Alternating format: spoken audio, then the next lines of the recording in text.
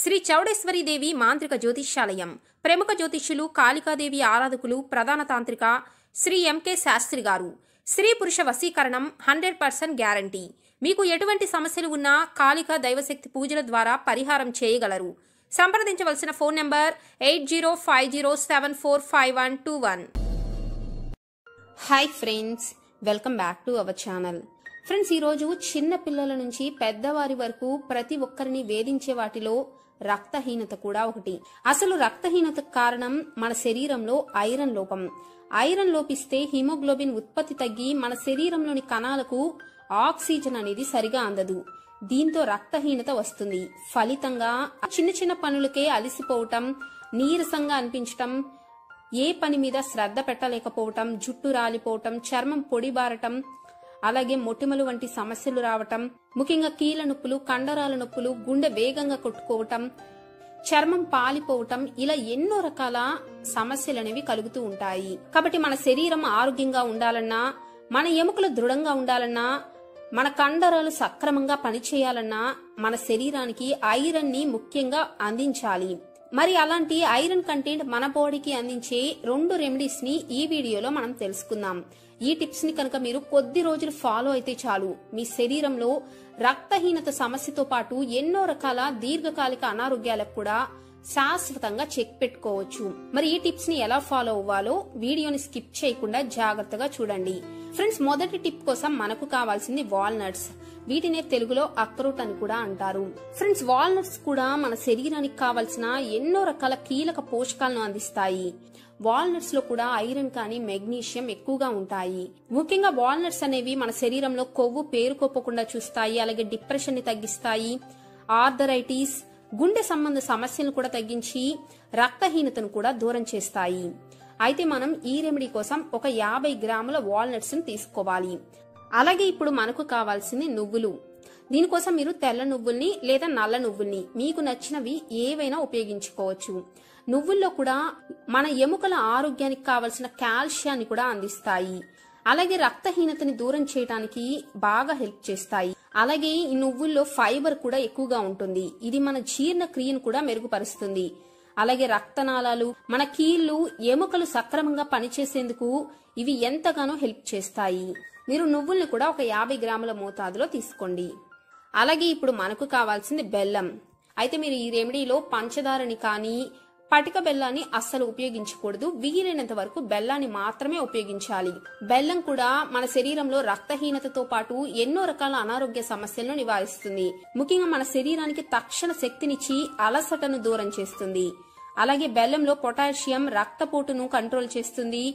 గుండె సంబంధ వ్యాధులను కూడా దూరం చేస్తుంది. అలాగే మూత్రపిండాల్లో రాళ్ళ సమస్యను కూడా తగ్గిస్తుంది. ముఖ్యంగా మానసిక ఒత్తిడిని దూరం చేసి కంటి నిండా కునుకు పట్టడానికి కూడా బెల్లంలోని పొటాషియం మనకు బాగా హెల్ప్ చేస్తుంది. అయితే మీరు ఈ రెమెడీ కోసం వీలైనంత వరకు తాటి బెల్లాన్ని లేదా బ్రౌన్ కలర్లో ఉండే ఈ రంగులో ఉండే బెల్లాన్ని మాత్రమే తీసుకోండి. ఇది మన ఆరోగ్యానికి మరింత మంచిది. ఇప్పుడు ఏం చేయాలి అంటే ఈ మూడింటిని యాభై యాభై గ్రాముల మోతాదులో కానీ లేదా మీరు ఈ క్వాంటిటీని రెట్టింపు చేసుకుని వంద గ్రాముల మోతాదులో అయినా అన్నిటిని సమానంగా తీసుకొని మిక్సీలో వేసి వీలైనంత మెత్తని పొడిలాగా తయారు చేసుకోవాలి. చూసారు కదా? ఇలా వీటన్నిటిని మిక్సీ పట్టుకోవాలి. ఇలా తయారు చేసుకున్న ఈ పొడిని మీరు ఒక బౌల్లోకి తీసుకోండి. ఇప్పుడు ఇందులో మనం చివరిగా కలపవలసింది దేశీ నెయ్యి. మీరు ఒక స్పూన్ శుద్ధమైన నెయ్యిని ఇందులో యాడ్ చేయండి. ఇప్పుడు నెయ్యిని ఈ మిశ్రమంతో బాగా మిక్స్ చేసి వీడియోలో చూపిస్తున్నట్లుగా చిన్న చిన్న ఉండల్లాగా చేసుకోవాలి. మీరు కొద్దిగా పెద్ద సైజ్ అయినా చేసుకోవచ్చు. ఇంత సైజులో చేసుకుంటే సరిపోతాయి. ఇలా మీరు వీటన్నిటిని లడ్డూల్లాగా తయారు చేసుకుని ఏదైనా ఎయిర్ టైట్ కంటైనర్లో వారం రోజుల పాటు నిల్వ ఉంచుకోవచ్చు. ఇలా తయారు చేసుకున్న ఈ ఉండల్ని మీరు రోజుకి ఒకటి లేదా రెండు డైరెక్ట్గా తినేయచ్చు లేదా పాలలో కలుపుకొనైనా తాగేయచ్చు. ఇవి ఆరోగ్యం మాత్రమే కాదు చాలా రుచిగా ఉంటాయి. కాబట్టి పిల్లలు కూడా మారం చేయకుండా తింటారు. ఒకవేళ మీరు కనుక డయాబెటీస్తో బాధపడుతుంటే మీరు ఇందులో బెల్లాన్ని స్కిప్ చేసి అక్రోట్ నువ్వులు నెయ్యి వేసి వీటిని లడ్డూల్లాగా తయారు చేసుకోండి. ఇలా కనుక మీరు ఈ ఉండల్ని ఒక్క వారం రోజుల పాటు తిని చూడండి. మీ శరీరంలో రక్తహీనత సమస్య అనేది ఖచ్చితంగా పరారవుతుంది. అలాగే ఇప్పుడు సెకండ్ రెమెడీ కోసం మనకు కావాల్సినవి అంజీరా. ఎండిపోయిన అంజీరాలు కూడా పోషకాలు అనేవి చాలా రెట్టింపుగా ఉంటాయి. ముఖ్యంగా అంజీరా అనేది రక్తహీనతకు ఒక బెస్ట్ మెడిసిన్ అని చెప్పుకోవచ్చు. అలాగే వీటిలో పొటాషియం కాల్షియం మెగ్నీషియం ఐరన్తో పాటు కావలసినంత ఫైబర్ కూడా ఉంటుంది. కాబట్టి మన శరీరానికి కావలసిన ఎన్నో రకాల పోషకాలు ఫైటోకెమికల్స్ వీటిలో ఎక్కువగా ఉంటాయి. అయితే మనం రక్తహీనతను దూరం చేసుకోవటానికి అంజీరాను ఎలా ఉపయోగించాలి అంటే మీరు ప్రతిరోజు ఒక గ్లాస్ పాలలో ఒక రెండు అంజీరాను వేసి పాలను బాగా మరిగించి పాలతో కలిపి అంజీరాను తీసుకోవాలి. ఇలా కనుక మీరు తీసుకుంటూ ఉంటే మీ శరీరంలో రక్తహీనతతో పాటు నీరసం అలసట నిస్సత్తువ ఇలా ఎన్నో రకాల సమస్యలు అనేవి దూరం అవుతాయి అలాగే మీరు ప్రతిరోజు వీటితో పాటు ఎండి కిస్మిస్ను కూడా నీటిలో నానపెట్టి ఉదయాన్నే ఆ నీటిని తాగి ఆ కిస్మిస్ని తిన్నా కూడా మీ శరీరంలో రక్తహీనత అనేది దరిచేరదు అలాగే రక్తహీనత సమస్యతో బాధపడేవారు మీ ఆహారంలో విటమిన్ సి కూడా ఎక్కువగా ఉండేటట్లు చూసుకోండి. ముఖ్యంగా నిమ్మకాయ కానీ ఉసిరి ఇప్పుడు మనకు మార్కెట్లో ఆమ్లా జ్యూస్ కూడా అవైలబుల్గా ఉంటున్నాయి.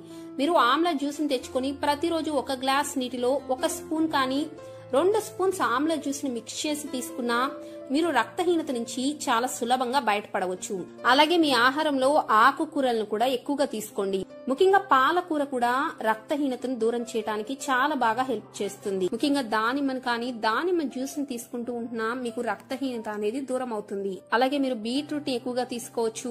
ఎందుకంటే వీటన్నిటిలో కూడా ఐరన్ కంటెంట్ అనేది ఎక్కువగా ఉంటుంది. ఇది రక్తహీనతను ఇంకా అనేక రకాల అనారోగ్యాలను దూరం చేస్తాయి. ముఖ్యంగా ఎనిమియాతో బాధపడేవారు ఖచ్చితంగా ఆరు నుంచి ఏడు గంటల పాటు నిద్రపోవాలి. ఎందుకంటే మీరు ఇంత మంచి ఆహారాన్ని తీసుకుంటూ మీ శరీరానికి కావలసినంత నిద్రను అందిస్తే మీ శరీరానికి మరింత ఆరోగ్యం అనేది చేకూరుతుంది. మన శరీరం తనంతట తానే రెజ్యునేట్ అనేది చేసుకుంటుంది. ఫ్రెండ్స్ ఇలా కనుక మీ శరీరానికి మీరు తగినంత ఐరన్ని మన ఆహారం ద్వారా అందిస్తే చాలు. మీరు ఎటువంటి మెడిసిన్స్ వాడకుండానే మీ శరీరంలో రక్తహీనత అనేది దూరం అవుతుంది అలాగే మీ శరీరంలో శక్తిని రెట్టింపు చేసుకోవచ్చు. ఇలా కనుక మీరు ఈ వీడియోలో చెప్పిన రెమెడీస్తో పాటు ఈ టిప్స్ని ఫాలో అవుతూ ఉంటే రక్తహీనతను కేవలం కొద్ది రోజుల్లోనే వారం నుంచి పది రోజుల్లోనే మీకు మంచి రిజల్ట్స్ అనేవి కనిపిస్తాయి. మరి మీకు కనుక ఈ వీడియో నచ్చితే లైక్ చేయండి షేర్ చేయండి అలాగే మా ఛానల్ని సబ్స్క్రైబ్ చేసుకొని పక్కనే ఉన్న బెల్ బటన్ కూడా నొక్కేయండి. మరొక మంచి టిప్తో మరొక వీడియోలో కలుద్దాం. Bye friends take care